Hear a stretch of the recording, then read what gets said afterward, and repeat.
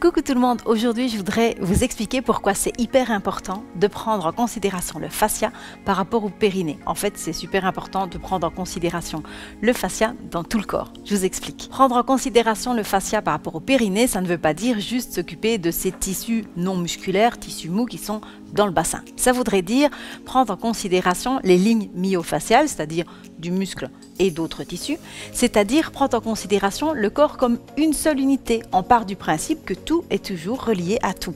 En fait, vous connaissez déjà cette relation où tout interfère. Surtout, par exemple, si vous avez souvent des maux de tête ou des maux euh, au niveau de la nuque, peut-être que détendre certaines tensions au niveau des trapèzes pourront améliorer le reste. Donc, c'est déjà relié. Et en fait, c'est comme ça dans tout le corps. Mais pourquoi est-ce qu'on n'y pense pas souvent? Tout simplement parce qu'on est souvent éduqué avec le corps coupé en morceaux, comme si c'était un empilement de bloc sur bloc, un peu comme des Legos qu'on aurait empilés les uns sur les autres. On sait que ce modèle de bloc sur bloc est complètement désuet, voire faux, parce qu'au fur et à mesure des années, si c'était réellement le cas, certaines modifications seraient apparues dans le corps, comme l'épaississement de certaines vertèbres. Qu'est-ce que ça va changer par rapport à l'approche au niveau du périnée? Eh bien, c'est que cette approche bloc sur bloc a tendance à nous faire penser que ce sont toujours les organes qui se font pousser vers le bas et que nous devons venir par le bas pour les remonter.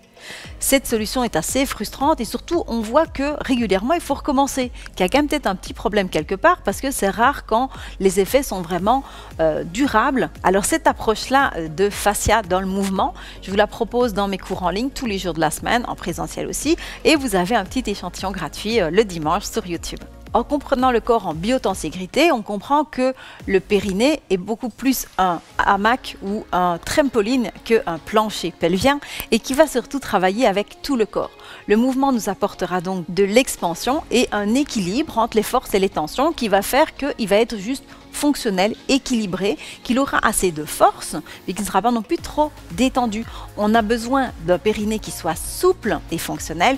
Souple pourquoi ben Déjà, par exemple, pour aller aux toilettes, on a besoin qu'il soit souple pour pouvoir monter sur une chaise, pouvoir s'accroupir, évidemment, pour pouvoir accoucher. On peut donc se demander si les organes réellement tombent ou s'il manque de mobilité et de place, et ne serait pas judicieux de pouvoir les retirer et leur rendre un petit peu de mobilité, de rendre en fait de l'espace dans le corps. Les organes pourraient aussi être tirés par le bas, par des tensions, des tissus cicatriciels, etc. Donc on peut comprendre que les jambes et les bras sont très importants par rapport à la santé du périnée. Le rôle du mouvement serait alors de réorganiser le corps et de pouvoir à nouveau équilibrer les forces et les tensions. Ne pas toujours essayer de contracter, de renforcer, vraiment bien équilibrer. C'est pour ça que dans mon approche du sport, je trouve qu'il est hyper important de vraiment mettre en avant le mouvement, beaucoup plus que la contraction volontaire.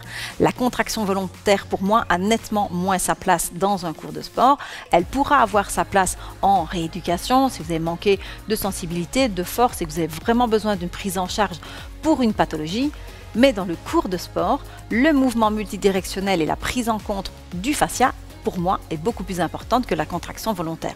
C'est pas que je n'aime pas la contraction volontaire, je trouve que c'est simplement pas du tout suffisant. Le corps est bien plus complexe que de penser juste qu'il faut contracter pour repousser par le bas. Si vous avez aimé ma vidéo, bien sûr, vous savez que ça me fait plaisir quand vous me laissez un petit pouce, encore plus plaisir quand vous me laissez un petit commentaire. Dites-moi si vous aviez déjà entendu parler de cette prise en compte du fascia dans le mouvement par rapport au périnée. Merci, à bientôt.